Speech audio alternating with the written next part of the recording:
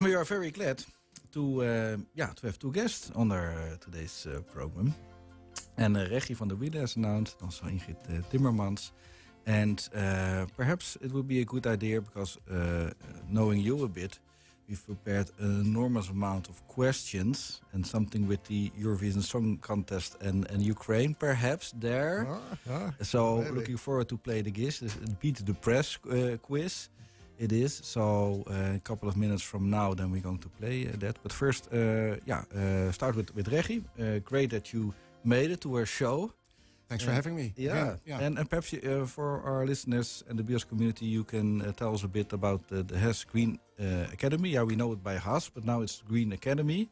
So there should also be a purpose there. Why Yep, it is the name? But Absolutely. Tell a bit for the listeners who do not, not know the HAS uh, yet about your fabulous uh, neighboring University of Applied Sciences. Yeah. Thanks again. Thanks for having me, and uh, thank you for uh, for allowing me to uh, to to, uh, to to be here with the fantastic performance of Kiani. Really, really impressive. Um, so yeah, the HAS Green Academy. Uh, we are based in the south of the Netherlands, as you are. So our our our activities range from from Zeeland, province of Zeeland, to all the way to Limburg, and. We are the University of Applied Sciences in uh, agro-food and the living environment. So the green domain, as we call it. Mm-hmm. Um, and we were we, uh, we were known under the name of the HAS University of Applied Sciences, HAS Hogeschool. Uh, but but over the years we've become so much more uh, than an uh, education institute for, uh, for for bachelor students uh, in our case. Um, so we are expanding that. We are expanding that with associate degrees. We're expanding that with masters. We are in, in fact developing a master together with you guys uh, and with our colleagues down south in in Maastricht, Hogeschool Zuyd. And uh, and but but also uh, we have a, a strong and growing uh, research program. Uh, and we are very well connected uh, into the into the the small veins of uh, of, of of the southern Netherlands working community, uh, where we translate our knowledge and where we also pick up the questions from uh, uh, from those regions. So uh, yeah, the Green Academy is there to uh, to uh, to to to support lifelong learning uh, from when you come from secondary school all the way to uh, to uh, way in your professional career. Things are, are changing so much. Um, so that's that's uh, that's why we changed our name. Also because HAS uh, used to stand for Hogere Agrarische School, Higher Agricultural uh, School. Uh, um, and we are also there so much more. It's really the agro and the food and the and, and, and the living environment. Um, and as you know, in this living environment, there's a lot of polarization. Um, and that happens also in the institute, of course. Yeah. We have uh, we have farmer sons and daughters that do not uh, dare to tell that they're farmers anymore because Extinction Rebellion uh, is uh, is putting pressure on. Have you already been, been occupied? Because there are a lot of actions now at the we are, moment at other we, are, we, are in, we are in consultation with uh, with with, with Okay. organizations uh, Yeah. on that side, but also with uh, Farmers Defence Force. So Yeah. uh, they all they all uh, they, they all feature uh, on our turf, yeah. and uh, that's good for the debate. And we're trying to facilitate a dialogue Yeah. because together we will have to solve the societal challenges that we are facing. Well, it's amazing, Reggy. Yeah, Reggy has only been a president for uh, two years now. Correct. And Last talking- week, two years. Yeah. Last week, two years. Congratulations. Yeah, you're talking about if you've been in the business for, for many, many, many years. But actually, you come from industry, right? That's where your I come your from industry. I've, I've spent 25 years in the food industry. Uh, last five years in, at Friesland Campina, so the the, the dairy uh, the dairy company. So there I had to deal with farmers as well as with the consumer and, Mm-hmm. and everything in between, as we call it there, from glass to gra- from grass to glass. from grass to glass. And uh, so so that I, I know another is saying. I won't. I won't repeat the saying. I know it's not. It's not that one. Okay, okay. No, that's another It's kind of grass. catching a uh, ride. that's- Catching a ride. Yeah. yeah.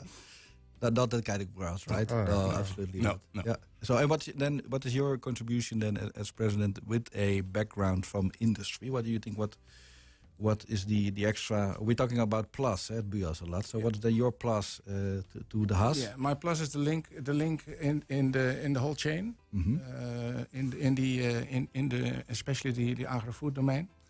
Uh, my plus is also that the way of working in industry is a bit different from the way of working in uh, in higher education. The speed is a bit different, so the pace is a bit true. different. Yeah, but you also told me it is really a lot of hard work, right? It's harder than you. It's a lot of hard work, Yeah. but it's very rewarding. Yeah. Uh, so it's uh, it's it's it's it's the I, you, I love it. Yeah. Yeah, is it, uh, you you will recognize that, and, and you as well, uh, Ingrid. It's it's it's a lot of hard work, but it's very rewarding. So it's also a bit of contagious, uh, uh, if, if that's the right uh, the right word here. Um, so yeah, it it is it is very fulfilling uh, to uh, to be able to uh, to contribute to helping young professionals to to to develop and to actually prepare for the for, for the big world out there. Yep. Absolutely. With all its challenges. Yeah. Yeah, with all the challenges. And I think HAS and, and BUas, they have a lot in common. Eh? They're all small scaled, uh, intensive programs. Um, we're not competitors in a way, eh? because the We're complementary, I would say. More Yeah. complementary. We have a lot of So- crossovers.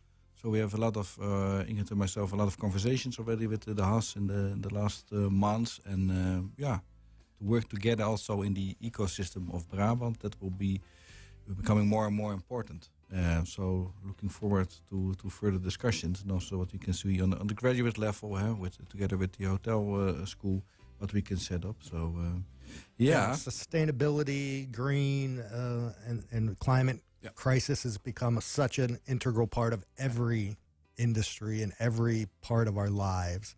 Uh, I think yeah, it's very complementary. My question, if I can get one in real quick, is this balance because we've reached a point many would consider in the climate crisis that action has to be extreme and dramatic, and not only now but we're already past the now. Yep.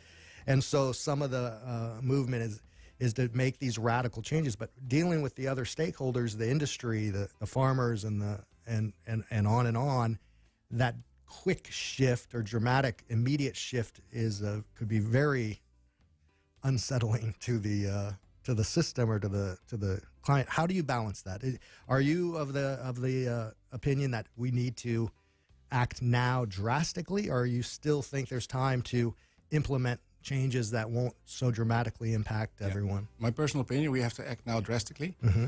Uh, when we look at the Netherlands, uh, I mean, there's a, there's a, there's a sort of a, what is it? A, we're, we're locked up now. There's no innovation taking place. We're really waiting for for for for the Dutch government to actually, uh, yeah, set some set some clear boundaries and, and set some clear uh, clear clear uh, uh, challenges. Well, translate the challenges actually to action because the, the, the, the players in the in, in, the society in the in the system they don't know yeah which direction to move at the moment.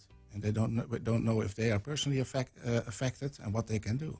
So what we can do is uh, offer them the tools and develop the tools uh, in, a, in, in a, let's say in a menu card that they can that they can choose from they're all entrepreneurs. If, if we talk farmers, they're all entrepreneurs. Or entrepreneurs, yeah, they, they have their own their, their own their own company, if you like, uh, and they don't they they want they want they want their their company to be to be Successful. healthy for the future, and that means that you need uh, you need healthy soil, you need healthy production, you need a healthy environment, and you have to do that together.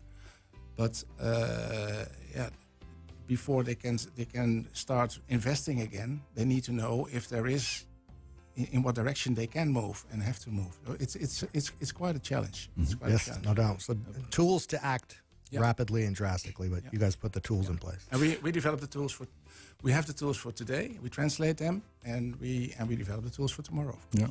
No, but uh, they're doing remarkable things in, uh, in Den Bosch and also in uh, Venlo. Venlo, eh? Also in